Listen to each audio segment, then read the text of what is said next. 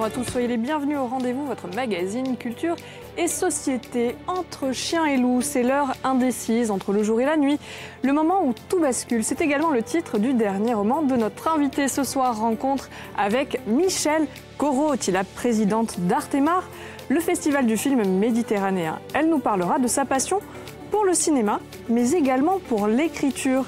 Elle publie un nouveau roman historique, Entre chien et loup écrit avec le concours de Philippe Perret, avec lequel elle forme un tandem littéraire. Michel Corotti, bonsoir. Soyez la bienvenue sur le plateau du rendez-vous. C'est un honneur et un plaisir, ma chère Michel, de vous recevoir ici, puisque la dernière fois, nous nous étions quittés à Bastia. C'est vrai, Célia. Honneur, le mot est trop grand. Plaisir, je le reprends volontiers à mon compte. Ah bah écoutez, si, si, quand même, Madame la Présidente. Oh, la Présidente du Festival du film méditerranéen, donc Artemar, c'était à Bastia. C'est un rendez-vous qui est emblématique, hein, vraiment, pour les amoureux du cinéma. Un rendez-vous qui prend ses quartiers d'hiver à Ajaccio pour une carte blanche. Absolument, c'est un plaisir. C'était la troisième année que la ville d'Ajaccio nous invitait. Et j'avoue qu'on est très sensible à cette invitation. Nous avions concocté, me semble-t-il, une jolie programmation avec euh, des petits bijoux comme ces Salamour de Claire Burger, avec euh, la rediffusion euh, de films corses qui ont été primés chez nous. Enfin, il me semble que c'était un beau rendez-vous. La magie a fonctionné. Une fois de plus, il s'exporte hein, ce festival, bientôt dans tout le bassin méditerranéen. Alors, Michel, vous êtes déjà en train de travailler sur l'édition 2019. Euh, quel sera le thème? Alors, on est presque en train de travailler sur 2019 et 2020. Nous ah, avions, oui, nous avions deux, thèmes qui nous tenaient à cœur. Un thème un peu effrayant, les monstres, et un autre qui sera euh, donc euh, déployé en 2019, c'est Artemar, virgule, nid d'espions. Les espions au Les espions. Mais alors, est-ce que les espions, c'est un thème méditerranéen? Est-ce que c'est pas l'apanage des Britanniques avec leur James Bond? Non C'est vrai que, mais c'est un scoop que je vous révèle là, nous aurons un espion du Mossad. Ah d'accord. Rien que ça. James Bond, mais quand même, c'est pas si mal. Alors vous êtes bien entouré. Michel, pour sélectionner euh, tous ces thèmes et tous ces films, euh, notamment grâce à l'aide de Christophe Bourseiller. Christophe, il est avec nous en duplex de pas Paris. Possible. Mais si, bonsoir Christophe. Comment allez-vous? Non, ce n'est pas moi, je suis caché, je suis clandestin, je suis un espion. Oui, bonjour, comment ça va? Bonjour Michel. Bonjour Christophe, comme tu es beau sur grand écran. Voilà, c'est ce qui me semble aussi. Puis en plus, tu vois, j'ai quatre micros, on dirait Macron. Mais tu les mérites, hein. tu les mérites. Je trouve aussi. Voilà, mes chers compatriotes, bonjour.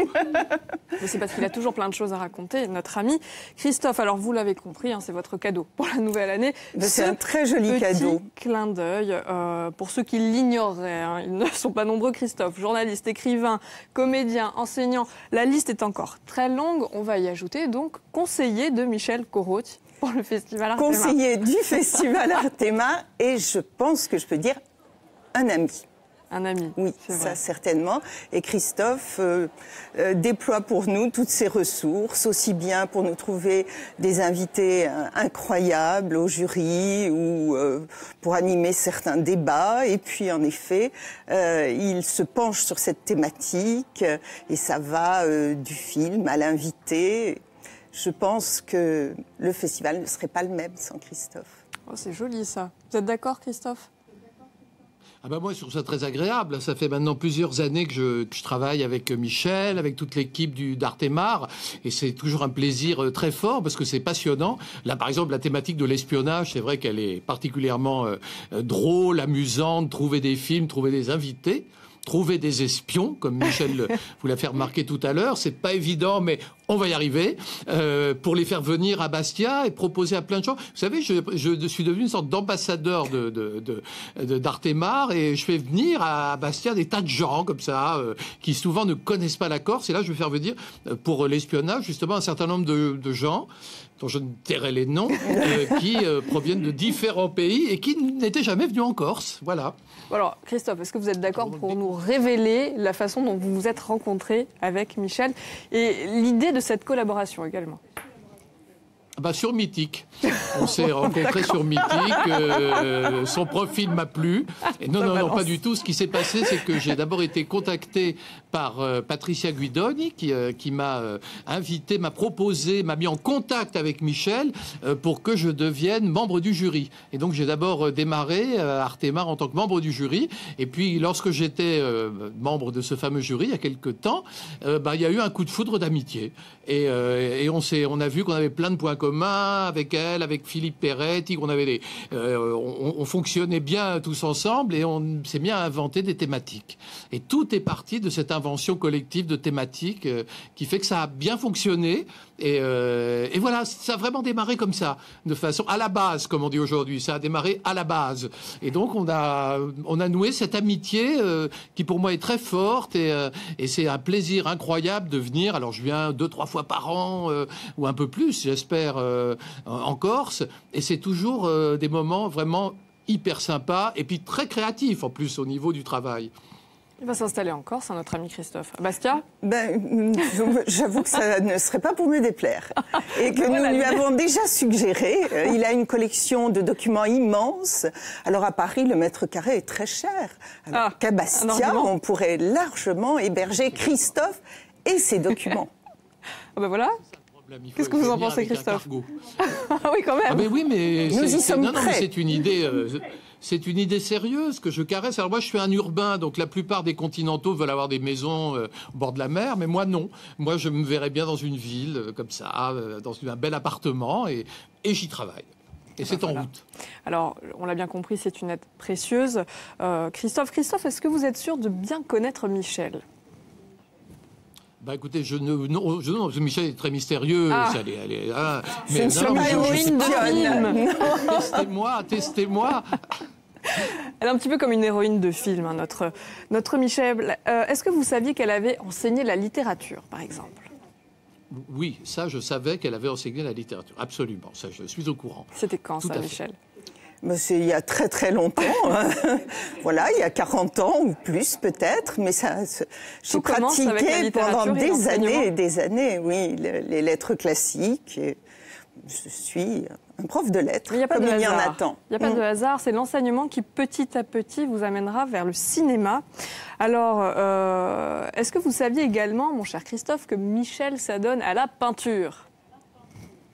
Ah bah non, ça par ah. contre, je ne me souviens pas. Alors peut-être que j'ai, je, sais qu'elle a beaucoup de lapins, mais en revanche, euh, non, je n'ai pas remarqué euh, cet attachement pour la peinture. C'est une faiblesse. Alors, au-delà d'aimer peindre, vous avez même exposé. Oui, oui. Euh, oui, j'ai exposé pendant quelques années. Je me suis consacrée à, ça et je ne dis pas que je ne recommencerai pas. C'est ah. bien ça le pire. Oui, il y a les secrets. Je ne suis pas repentie. Alors, l'enseignement, la littérature, la peinture. Est-ce que vous saviez, Christophe, que comme vous, Michel est, est un auteur, euh, écrivain, qu'elle a écrit d'abord des livres pour enfants? précédents. Bien sûr, j'ai même lu un livre de Michel en Corse en langue corse. Et c'était vraiment un bon exercice pour essayer de comprendre justement. Ah voilà, vous avez tout compris. non, je n'ai pas tout compris, mais justement, c'était, je dis un livre pour enfants, ça va me permettre d'essayer de comprendre, si vous voulez. C'était l'idée. Alors, du livre pour enfants jusqu'au livre historique, c'est le troisième euh, roman qui vient de paraître euh, entre chien et loup. Elle vous fait des infidélités, hein ça vous dérange pas? Oh bah écoutez, euh, non, ça ne me dérange pas. Alors en matière d'écriture, bien moi, sûr. Je suis, je suis quand même historien et, Michel est aussi, euh, d'une certaine façon, euh, surtout évidemment Philippe Perret, ils sont co-auteurs. Ah, il a c'est vrai qu'on a quand même cette, on a comme point commun cet amour de l'histoire, entre autres points communs. Alors ce fameux tandem, vous l'avez dit, elle le compose avec Philippe Perret. Michel, je vous propose eh bien, de le rejoindre pour que vous puissiez faire découvrir ce nouveau roman à Christophe et à nos téléspectateurs. C'est le moment de la rencontre. Suivez-moi. Bien volontiers.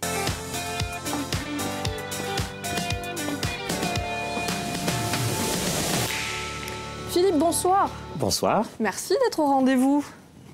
Vous aviez suivi cet échange avec Christophe, Christophe ah qui est toujours avec nous. Hein. Bien sûr. Hmm. Alors, vous êtes adjoint à la mairie de Bastia, euh, où vous vous occupez du patrimoine de la ville. C'est-à-dire du musée, des vieilles pierres, des églises. la ville en possède un certain nombre. Et notamment des secrets également. Oui, que vous aimez beaucoup, ces fameux secrets d'histoire. Comme Michel, vous avez enseigné, mais vous, vous avez enseigné l'histoire. Euh, vous êtes donc ce fameux binôme, hein, euh, tous les deux, pour ce troisième roman, Entre chien et loup aux éditions Alain Piazzolla. Alors, comment le tandem, cette fois-ci, s'est formé? Racontez-nous. Christophe, écoute-toi, attention. je pense que hum, j'aurais jamais, jamais osé écrire. Euh, mais euh, en discutant d'anecdotes qui nous intéressaient tous les deux, etc., euh, voilà, Philippe m'a dit, mais pourquoi pas? Et c'est ce pourquoi pas qui, qui m'a servi de, de déclencheur. Hein. Pourquoi pas la première fois, pourquoi pas un consul fasciste dans les années 30 à Bastia et euh, une, façon du coup de revoir la ville sous euh, un autre euh, angle. Et oui, oui. Hein. Enfin, Michel et moi, nous sommes fascinés quand même par la relation entre la Corse et, la terre ferme, hein, et l'Italie. Il nous avait semblé intéressant de, de, de, placer nos, nos, romans historiques dans des périodes charnières où tout s'est disputé pour la Corse en quelque sorte. Hein. 1935, elle a dit, hein, l'époque de la revendication fasciste, en, en romançant euh, la vie d'un consul général d'Italie à Bastia, 1768-69, hein, l'annexion euh, définitive, entre guillemets, euh, par la France, avec en suivant le jeune Mirabeau, lieutenant à, Bastia, et puis euh, le XVe siècle, la période milanaise pour ce troisième roman. C'est-à-dire que je crois que tous les Corses s'intéressent à ce qu'est la Corse. Nous sommes tous euh, omnibulés presque par ces problèmes mmh. d'identité. Mmh. Et euh, il est vrai que ça paraissait intéressant de, confronter euh, nos, positions, si j'ose dire, notre point de vue sur la question, à des moments historiques mmh. importants, des moments de bascule. Mais alors, entre un pourquoi pas et franchir le pas, se dire, allez, on écrit. Comment vous avez trouvé les arguments pour la convaincre? Alors on s'entend on s'entend bien, hein. on vit ensemble depuis un certain nombre d'années. voilà. Mais euh, moi, j'ai des obsessions. Hein. Par exemple, je suis euh, d'un village qui s'appelle Tox, hein, et Tox, Toc ici. Et à Tox, il y a une tour qu'on appelle la tour des Cortines, qui avec une date dessus, 1464, et un nom, Giudice, d'Agage, Giudice de Cortine. Moi, je me suis toujours demandé ce qui s'était passé en 1464. Hein. J'étais adolescent, je me posais la question, en tant qu'historien, disons, de métier, j'ai pu faire les recherches. Alors, moi, j'ai proposé hein, de, retracer la vie pendant la période milanaise de ce, féodal corse. Hein. Mais alors, Michel, elle, elle se laisse emporter. Michel, c'est une véritable romancière. Elle aime écrire. Après, moi, je lui, offre les arguments, je lui offre la documentation. Et c'est elle qui se lance dans l'écriture.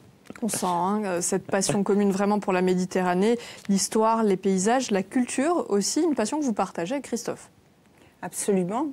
Euh, on a parlé de, littérature. Euh, Christophe a à son actif euh, un nombre de livres assez colossal déjà. ça, c'est le moins qu'on puisse dire. Combien de livres, Christophe? Combien? Oh, il doit y en avoir 35 à peu près à l'heure d'aujourd'hui. voilà, une insociable curiosité et puis voilà, cette envie de comprendre les choses. Et beaucoup plus modestement, euh, dans le cadre presque d'une écriture régionaliste, enfin, mmh. dans le cadre de la Corse, pour tout dire, euh, eh bien, nous, nous, tentons, nous aussi, d'éclairer un peu l'histoire de la Corse et, ce qui explique que nous sommes ce que nous sommes aujourd'hui. Alors Christophe est très prolifique hein, de son côté. Euh, en revanche, vous écrivez et donc Philippe conseille. Non, il n'est pas d'accord. Non, il n'est pas d'accord. Non, non, non, pas du tout, je suis d'accord, mais je ah. trouve qu'il y a une particularité dans le travail de, Michel euh, et, de, et de Philippe, c'est le fait que c'est un travail, moi j'aime beaucoup cet aspect-là, euh, d'une parfaite objectivité, c'est-à-dire qu'ils ne vont pas euh, brosser, tresser des couronnes spécialement à leurs personnages, ils vont les décrire exactement comme ils sont. Si c'est des salauds, ils vont dire c'est des salauds, si c'est des gens bien, ils vont dire c'est des gens bien, et ils ont sur l'histoire de la Corse un regard qui est justement un regard précis. Et je trouve que pour toute histoire, que ce soit la Corse, l'Italie ou tout ce que vous voulez, euh, ce, regard précis qui n'est pas un regard, euh, on pourrait dire, euh, gentil, sympathisant, empathique, mais un regard exact, c'est une nécessité, et ça c'est très, c'est très fort. Là, on voit que l'harmonie est parfaite hein, entre les deux. L'entente est cordiale. Michel écrit, Philippe conseille. vous êtes toujours d'accord, sauf peut-être sur ce point Est-ce que Entre chien et loup est un roman historique ou une fiction? C'est le point de la discorde. Non. Mais sans doute un peu les deux. C'est un roman historique. Ce personnage a vraiment existé. Son ambassade à Milan, euh, nous en avons euh, la trace. Il y a un texte et euh, justement, puisque lors de cette ambassade, on va lui remettre son, son fief, il y a le texte. Donc, c'est documenté. Donc, c'est de l'histoire c'est de, de l'histoire, mais c'est de l'histoire quand même romancée. On peut se le permettre. Hein. il y a une, une, foule de documents. Il y a les fameuses chroniques, hein, la plus célèbre étant celle de, de Giovanni della Croce. Il y a les documents milanais. Il y a des travaux d'historiens, des historiens très sérieux. Je pense à, à, mon ami Antoine Franzini, qui a travaillé sur euh, la Corse au Quattrocento au, XVe siècle, et qui a bien sûr euh, mis à la disposition des lecteurs tous les documents euh, disponibles. Mais il fallait romancer, hein, parce que l'histoire de, ce Corse, hein, qui vient du, du, qui vient de son, son, château Pietralirat se trouve entre Zouane et Pédigorte ou Digage, sur un, promontoire, et qui va se retrouver, vous vous rendez compte, à la cour des Sforza, hein, à Milan, hein, dans, un des, plus beaux euh, palais euh, d'Europe, et qui va fréquenter euh, tous ces personnages. C'est assez fascinant, mais nous ne savons pas ce qu'il éprouvait, ses sentiments. Et là, Michel a essayé de les restituer. Et là, nous rentrons dans le roman. Dans, la chronique, je dirais une, la chronique historique, mais la chronique aussi euh, familiale. Mm. Alors c'est vrai que c'est l'extrême fin de la chronique de Giovanni della Grosse, et mm. que par contre sur la vie euh, privée intime de ce personnage, sur ses motivations, etc., on n'a rien. Donc ça, de notre côté, c'était formidable. Euh, je n'étais pas embarrassée.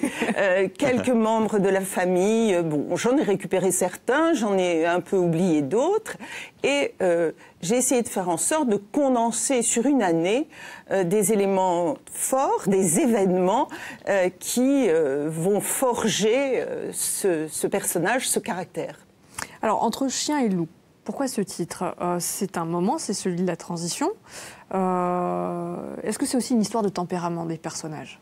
Absolument, puisqu'il est question, au fond, euh, de il est question de, servitude, euh, peut-être comme dans les fables de La Fontaine, le chien qui sert quand le loup a une existence plus rude, mais pleine de, fierté. Et là, il est question de se soumettre, de faire allégeance. C'est question de savoir si euh, les seigneurs corses peuvent tout seuls euh, garder euh, la Corse ou s'il leur faut un prince plus puissant devant lequel il faut plier le genou.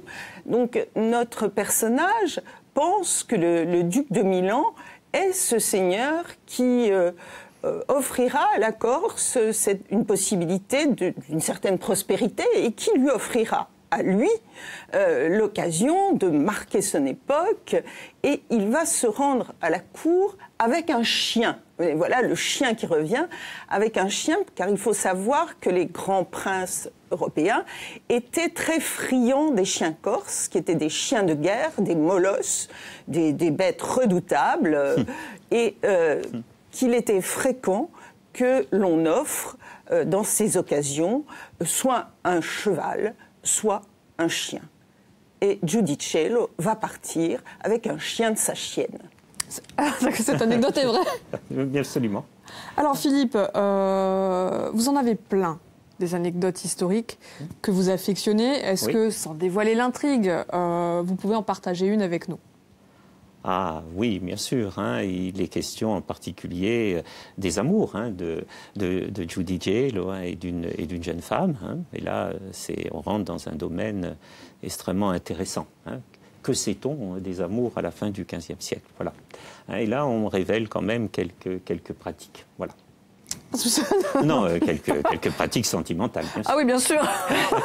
Évidemment, vous l'aviez compris également, Christophe. Il est très précis toujours.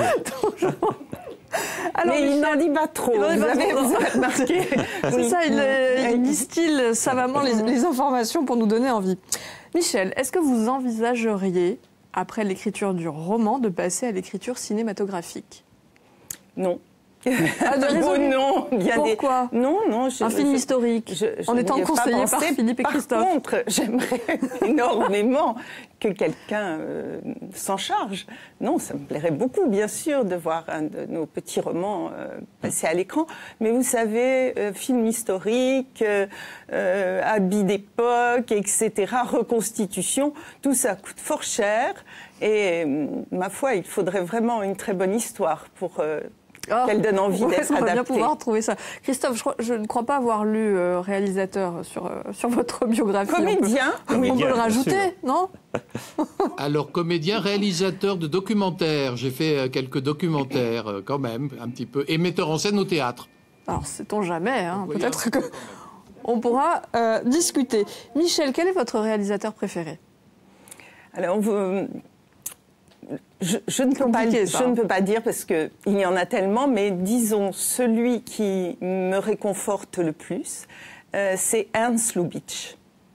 Voilà, Lubitsch parce que parce que c'est gay, parce que c'est de la comédie, parce que c'est intelligent, parce que ça dit plein de choses euh, sur euh, sur le monde comme il va. son dernier film, son dernier film s'appelle Cluny Brown qui est l'histoire d'une jeune fille euh, qui a perdu ses parents, son oncle est plombier. Et ma foi, c'est une euh, jeune personne qui voudrait vivre avec son temps et elle veut, elle aussi, faire de la plomberie. Or, c'est totalement inconvenant qu'une jeune dame, comme il faut, retrousse ses manches et roule ses bas noirs pour passer sous un évier. Et l'oncle Arne lui dit, Cluny, il faut que tu restes à ta place et euh, il l'envoie comme domestique dans un château. Et c'est très beau parce que justement, euh, elle va rencontrer un homme, un réfugié tchèque, qui va lui apprendre que non, on n'est pas obligé de rester à sa place. On peut choisir notre place. Et euh, il a une formule non sensique qui me ravit. il dit si tu as envie de jeter des écureuils aux noisettes et non pas des noisettes aux écureuils, vas-y. Jolie formule. Alors, pas de réalisateur méditerranéen Si, quand même. Beaucoup. Buñuel, Fellini, puis, ah, bah d'autres plus contemporains. La Dolce Vita euh, Non, plutôt Elana Veva. Elana Veva. Alors, votre auteur préféré? Euh, Là aussi, c'est horriblement, Question c'est horriblement piège, c'est terrible. Euh, j'ai toujours envie de parler du du dernier livre que j'ai lu ou du livre que je suis en train de lire, qui est mon préféré, au moins le temps de cette lecture. Alors le euh, dernier, tiens, justement, c'est ah, Le dernier, c'est un roman de Liu Cixin, ça ne doit pas se prononcer comme ça, qui est un auteur je, chinois. pas. qui a écrit euh, une grande épopée qui débouche sur de la science-fiction. Et figurez-vous qu'il hum, y a d'autres euh, habitants intelligents dans l'univers et qu'ils s'apprêtent non seulement à nous envahir, mais euh, à nous remplacer sur cette terre. Non, mais ceci dit, c'est un très très beau roman, euh, profond, plein de poésie, euh, plein de science aussi. Et j'aime beaucoup les, les, romans chinois, même les romans classiques, comme Au bord de l'eau, Le songe dans le pavillon rouge, La pérégrination vers l'ouest. J'aime beaucoup les grands romans chinois. Mais mes auteurs préférés, je dirais peut-être Dickens, Jane Austen, alors le livre qu'il faut absolument avoir lu. Gaspard des Montagnes. Je dis ça parce que c'est un écrivain dit régionaliste et que c'est un immense, immense romancier, euh, Henri Pourra. Si je ne dis pas le nom de l'auteur. Henri Pourra, pour ceux qui n'ont pas lu Henri Pourra, qui euh, manie la langue en introduisant des, termes auvergnats, mais aussi euh, est un poète du paysage. Et puis qui, euh, qui montre euh, à une époque où euh, il semble qu'il n'y a plus de gloire. Parce que, tiens, c'est un roman aussi qui évoque l'épopée napoléonienne. Et donc, après Napoléon, quand tout semble terne et qu'il n'y a plus de hauts faits possibles et que l'existence se rabougrit et s'embourgeoise, il y a ce héros, Gaspard des Montagnes. Non, il faut absolument vous ne l'avez pas lu Non, mais je vais m'empresser de le lire. Oui. Est-ce que vous êtes d'accord avec les choix de Michel Ah oui, oui, bien sûr. J'adore Henri Pourra aussi. Moi, j'ai un faible pour deux grands auteurs, Jono et Ramus. Ramus, ils se ressemblent. Hein. On les a un peu classés aussi comme, comme, comme écrivains régionalistes, hein, surtout, surtout Ramus, hein, mais je trouve que c'est, leur écriture est, est, fabuleuse et les thèmes qu'ils abordent très, très modernes pour l'époque. Voilà. Et notre ami Christophe, ce sera le mot de la fin.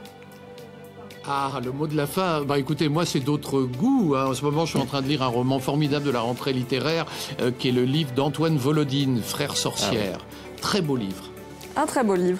Merci infiniment à tous les trois d'être venus au rendez-vous. On rappelle, Michel et Philippe, euh, votre livre Entre chien et loup à découvrir début février, ce roman historique aux éditions Alain Piazzolla. Merci infiniment Christophe Bourseillet en duplex de Paris d'avoir pris le temps pour nous et merci à vous de nous avoir suivis en direct ou en replay. C'est où vous voulez, quand vous voulez le rendez-vous. Excellente soirée à tous. Ciao.